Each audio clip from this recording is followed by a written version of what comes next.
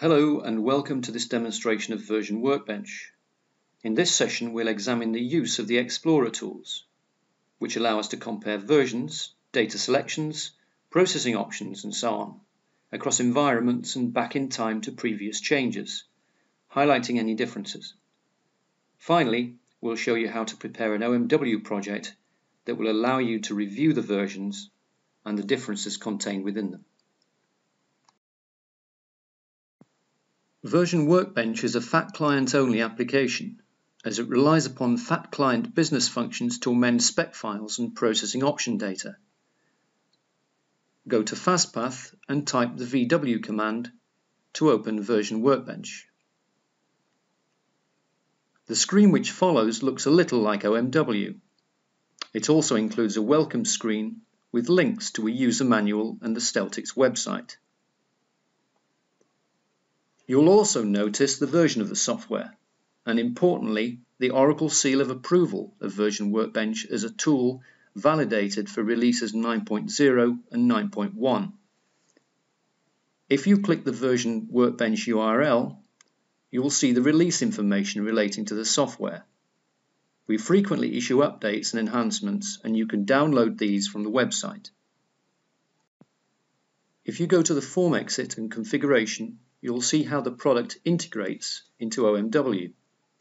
First we create all the user roles, path codes and project statuses.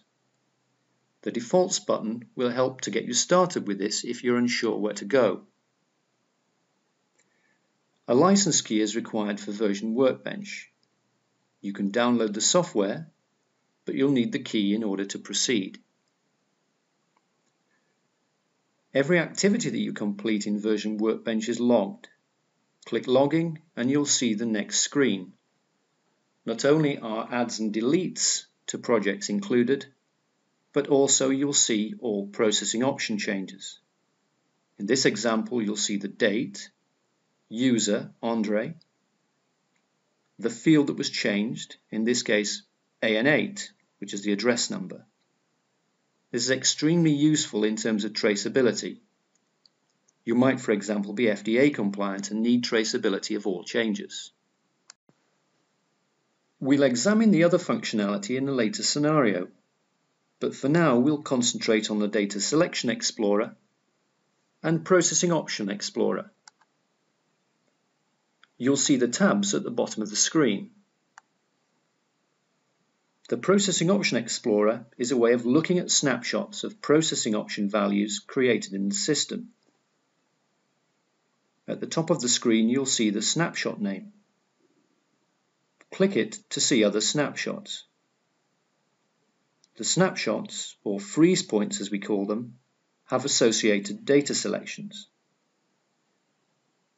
In this example, 42sys is all the 42 system code objects. As you can see in the example, one freeze point can contain data from multiple environments, which makes this a very powerful tool for comparison purposes between environments and changes between those environments. If we select the freeze point, you'll see the environment, object, version, description, tab, processing option text, processing option value, and data dictionary item. The QBE grid gives great flexibility. For example, if you want to see all sales order document types that can be created on the system, you can easily do that. Add the data criteria into the QBE grid, click Find, and you'll see all the order types that are there. You can export and import the freeze points. You can restore them in proof and final mode, giving great control over mass changes. We can also look across environments. Remove the environment value in the top right of the screen and replace with a star. And we can easily compare values across more than one environment. In this case, we're comparing DV and PY. The sequence button enables easier comparison. For example, if you need to export to such as Excel. Whilst this may be a useful way to compare processing option values between environments, there may be an easier way. First, clear the QBE grid of all data and go back to our original environment. You can use the Visual Assist, the lookup, to choose, the, choose DV in this case. This time we'll ask the system to compare with another freeze point, our original 42 sys. We'll compare the 42 sys values in PY with those in DV. When we do this, a new tab opens called Option Compare. On the left side of the screen, we see the values stored in DV. On the right, the equivalent values in PY. The criteria of the comparison can be seen, highlighted at the top of the screen in blue. We can also choose to show differences only. In this case, there are 14 differences. Remember that these differences do not have to be between environments.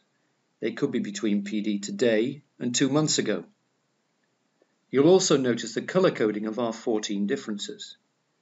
This is the same color coding as used in the original Visual Event Rule Compare tool. So looking at the differences, P4210, ZJDE5 in DV has a dot. In PY, it's empty. On another row, you'll see a different version of the purchase order being referenced between DV and PY. It's clear that we have quite a bit of work to do with our versions to get some consistency between the two environments. Next, we'll look at exporting these differences into a new OMW project for comparison purposes. We then have a button to move all these differences from all the versions into an OMW project. We'll select the SCN01 project. The system tells me I'm about to add four versions to a project. I can even check them out simultaneously, but for now, I'll just add them. We'll pick this up once again in the next scenario. We'll now briefly look at the Data Selection Explorer. If I open my 42 sys, I can view all UBEs contained in each environment for me to query very easily. For example, to see all report versions that use the next status in their data selection, I just amend the QBE grid, click Find, and there they are. This is very useful and a powerful tool when you're adding or changing statuses in a workflow. Please tune in to our next movie to see the continuation of this scenario. I'm sure you'll already be able to see the power and the flexibility of Version Workbench. Goodbye for now. Thanks for watching this demonstration. To learn more, navigate to our website or send us an email.